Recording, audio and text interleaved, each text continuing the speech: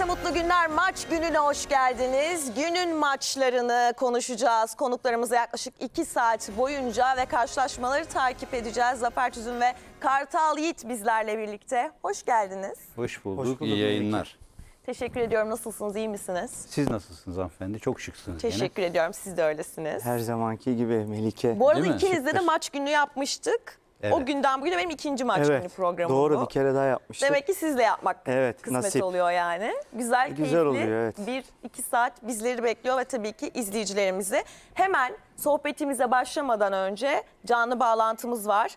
Dedik ya maçları konuşacağız. Akşamın maçıyla başlayacağız sevgili izleyicilerimiz. Samsun Spor Fenerbahçe'yi konuk edecek haftanın belki de en merak edilen karşılaşması. Çünkü ligin flash ekiplerinden Samsun Spor. Samsun'da kim var? Muhabirimiz Erdem Akbaş. Aman Allah'ım nerede öyle? Vallahi çok Evet, güzel e, ya. manzara da var. Müthiş. E, merak ediyorum. Birazcık bize herhalde orayla ilgili de bilgi verir diye tahmin ediyorum. Samsun Spor Fenerbahçe maçı öncesi notları yerinden Samsun'dan Erdem Akbaş'tan dinleyeceğiz. Merhaba. Merhaba Melike, stüdyoya da selamlar değerli konuklarına. Bir önceki bağlantımızda Bandırma Vapuru'ndaydık. E, Milli mücadelenin başladığı noktadaydık. E, Şimdi Atakum sahilindeyiz. Yaklaşık 5 kilometrelik bir sahil burası. E, Kumsal, deniz yazın çok daha güzel oluyor. Ben de e, Samsun'a çok yakın bir yerde. Ünyeliyim ve buraya 45 dakika mesafede. Bildiğim bir lokasyon. Yazın cıvıl cıvıl oluyor. E, Samsun e, Samsunlu vatandaşlarımız bu kumsalda denize girme imkanları buluyorlar ve gerçekten hem gecesi hem gündüzü çok başka bir şehir Samsun. 5 kilometre boyunca uzanan büyük bir kumsal Atakum sahili. Gerçekten plajı da çok güzeldir. Ee, siz uzaktasınız ama ben e, birazcık yürüme fırsatı da buldum. Ee, gerçekten kışında ayrı bir tadı var Karadeniz'in. Deniz dalgalı, e, hava da yağmurlu. Mücadele saatinde de e, yağışlı bir hava bekleniyor. %40, %50 oranında bir yağmur var. E, mücadele saatinde yağışlı bir hava olacak. Zemini ne kadar etkileyecek bilmiyoruz ama milli maçtan hatırlıyoruz. Stadyumun zemini biraz eleştiri toplamıştı. Yağmur ne kadar etkileyecek bunu maç saatinde göreceğiz Melike. E, karşılaşma öncesi e, Samsun Spor'da Fenerbahçe'de e, tabii ki de bu mücadele için çok önemli. İki Samsun Spor'un bu sezonki yükselişi var. Fenerbahçe e, Galatasaray'ın kazandığı haftada puan kaybetmek istemiyor ama 17 gün aralığın ardından Fenerbahçe resmi maça çıkacak. Son olarak Twente ile karşılaşmıştı. 17 gün sonra Samsun deplasmanında sahne alacak Sarı Lacivertler. Milli arada neler oldu biraz onlardan e, onlara değineyim. Fenerbahçe'de sakatlar döndü ama bazı isimlerin sakatlığı tabii çıktı. Çağlar Söyüncü ve Osayi Samuel e, sakatlıklarını atlattı ve Samsun Spor kafilesine dahil edildi. Bugün Osayi Samuel'in 11'de olmasını bekliyoruz. Oyuncu e, Nijerya milli takımıyla da sorunlu bir milli ara geçirmişti ama e, bir sakatlık problemi yok. Çağlar'ın bugün kulübe, kulübeye çekilmesini bekliyoruz. Tamamen teknik heyet kararıyla e, sakatlıklara değineceğim öncesinde. İsmail Yüksek'in milli arada e, Twente maçında omzuna darbe almıştı. Milli takım kadrosundan çıkarıldı. 17 günlük süreçte tedavisi devam edildi ama tam anlamıyla sakatlığı geçmediği için daha doğrusu takımla çalışamadığı için İsmail Yüksek Samsun Spor kafilesine dahil edilmedi. Manchester United maçında kadroda olmasını bekliyoruz. Sürpriz sakatlık Cengiz Ünder oldu. Cengiz Ünder'in antrenmanda e, kasıyla alakalı bir problem yaşadı ve yırtık şüphesi var. 3-4 hafta sahalardan uzak kalması bekleniyor Cengiz'in. E, bu anlamda Cengiz de kafileye dahil edilmedi. Samsun Spor'a get- e, Samsun deplasmana getirilmedi. Bu ikisi isim dışında Fenerbahçe'de sakat oyuncu bulunmuyor.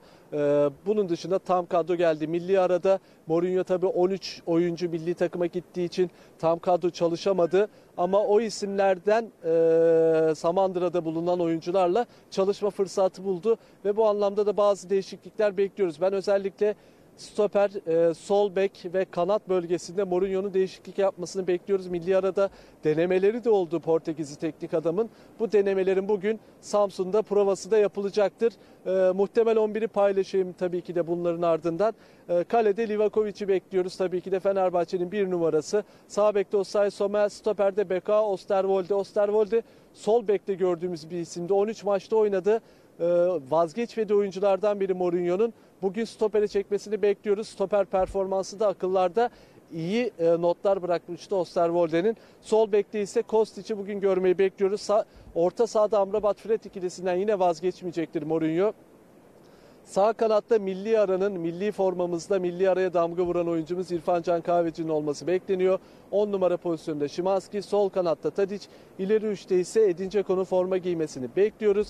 Tabii Yusuf Ennesri de burada aslında %50 %50 ama biz Edin Dzeko'yu bir de bir adım önde görüyoruz. Yusuf en, Yusuf Ennesri de formaya yakın isimlerden. Bir parantezle Maksimen'i açacağım. Maksime'nin gribel enfeksiyon nedeniyle hafta boyunca takımla çok fazla çalışamadı. Sadece 1-2 idman takımla çalıştı. Bunun dışında bireysel antrenmanlara devam etmişti. Maksimen bugün kadroda fakat e, hızlı ve etkili bir oyuncu. Ligin en iyi çalım atan oyuncularından biri. Yorulan takımlara karşı Maksimen'in çok daha fazla e, etki edebileceğini de görüyoruz. Bugün Maksimen bu anlamda oyun sıkışırsa Fenerbahçe'de kilidi açacak oyunculardan biri olabilir. Ben Maksimen'in ikinci yarıda skora etki etmesini bekliyorum. E, açıkçası ilk 11'de olmasa da Fenerbahçe'nin değerli oyuncularından bir tanesi. Mücadele saat 19'da başlayacak. Biz Atakum sahilinden e, ikinci yayınımızı yaptık. E, İlerleyen saatlerde farklı noktalarda da olabiliriz. Stadyumdan da bağlantılarımız olacak Melike. Aktaracaklarım şimdilik bu kadar. Evet Atakum sahilinden valla başka noktalarda olabiliriz diyor. Bizi her yerde bulabilirsiniz diyor. Kolay gelsin Erdem Akbaş'a. Evet maçla ilgili bütün notları detaylı bir şekilde dinledik kendisinden. E, muhtemel 11'lerle ilgili. Şimdi tabii notları aldık bu maçı konuşarak başlayalım. Bir yandan şu an devam eden karşılaşmanın da skorunu söyleyeyim. Sivas Spor'la Hatayspor karşı karşıya geliyor. Maçta 0-0'lık eşitlik var. 16'da Beşiktaş Konya Spor maçı başlayacak sevgili izleyicilerimiz. O karşılaşmaları da tabii ki konuşacağız. Akşam maçlarını konuşacağız. Şimdi notlarımız eşliğinde Samsun Spor Fenerbahçe diyelim istiyorum. Zafer Tüzün'le başlayacağım. Önce bir genel değerlendirme alayım. Muhtemel 11 de geldi. Şöyle bir e, konuşalım, başlayalım sonra detaylandırırız. Evet, e, her ne kadar kadro kalitesi Fenerbahçe'nin diğer takımlardan çok üstün desek de bu sefer karşıda formda bir Samsun Spor var. Evet. Lige iyi giriş yaptılar ve her takıma da zorluk çıkaracak bir oyun yapıları var. Ee, hocalarıyla iyi bir uyum var.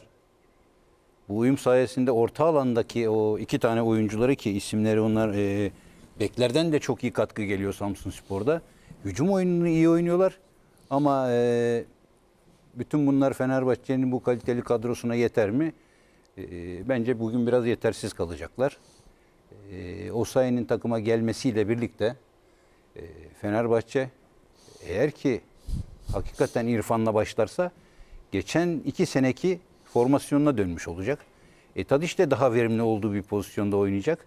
E, Şimanski'yi de şu pozisyonda gördüğümüzde daha fazla öne destek verecek ki bu sene e, Şimanski çok fazla destek vermiyor takımına diye eleştiriyoruz. Tamam e, görev adamı hem hücuma destek vermeye çalışıyor hem geri gelmeye çalışıyor ama e, biz Şimanski'nin gol bölgesine girip sürpriz oyuncu olarak goller attığını e, ezberledik. Ondan da o formasyonu bekliyoruz. Fred Damrabat, e, evet Fred de e, Rize maçından sonra biraz e, düştü form grafiği ama normaldir. E, Amrabat'la birlikte iyi bir ikili olacaklar. Tandem şeklinde birisi öne çıktığında diğeri kalacaktır kontrol oyuncusu olarak. E, zaten defans formasyonu hep bu. Sevgili Mourinho hocamız da e, defansa fazla ağırlık verdiğinden dolayı ki bugün lazım olabilir. Çünkü e, orta alanda hem kanat e, beklerinden hem de orta saha ikilisinden ön tarafa, ön bölgeye çok destek veren bir Samsun Spor seyredeceğiz bugün. Evet. Ee, ona rağmen Fenerbahçe ağırlıklı geçer ve Fenerbahçe bu maçta e, bilhassa Samsun Başkanı'nın verdiği ısrarlı beyanatlardan sonra e, daha iyi motivasyona e, sahip olan Fenerbahçe'nin bugün rahat kazanacağını düşünüyorum.